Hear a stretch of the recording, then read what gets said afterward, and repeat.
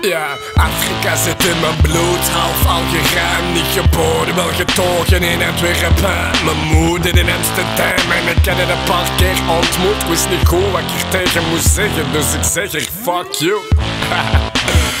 Lenny in de hoed, natuurlijke habitat wat het voelt goed Vodka dag lang, niet naar binnen gaan Urine geur in de gang. Maak een beetje extra cash op de zijkant. Volgens Euro tegen slot, die verkopen terug en dat is complex. Dus die rappers zeggen Lenny gaat daar weg man. Ben in Europese Unie zoals van Rompuy, noem me Herman.